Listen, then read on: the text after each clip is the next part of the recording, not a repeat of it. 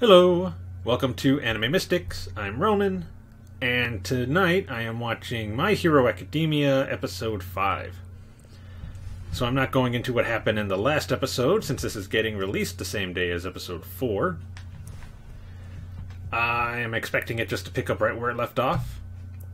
Um, Todoroki and Deku were about to have a battle, sort of, you know, for the 1 or 10 million point headband. Um, so let's just get into this episode, see what's going to happen.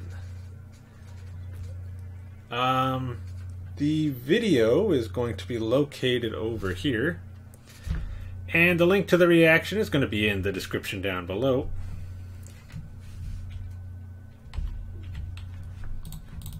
And we're going to start this episode in three, two, one.